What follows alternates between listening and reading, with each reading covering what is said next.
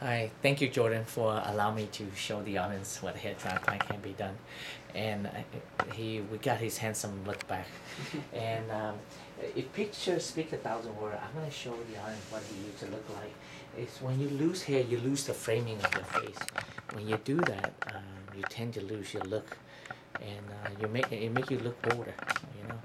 And, and after that, so here you lose the framing of the face, and then so what we did is we dropped the hairline, brought the temple, and then this is him a year later. You see, when I say if pictures speak a thousand words, that's truly what it is.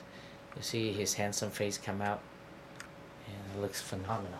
Okay, uh, again, uh, this is close up, and look at that. Right hand side, and right hand side. This is by the FUE method, left hand side. And you see how we brought the temple to make a perfect straight hairline for him. And that's the left one. And this is where, go ahead and get a camera. And this is where Jordan is a year later. And uh, younger, more handsome, happy guy.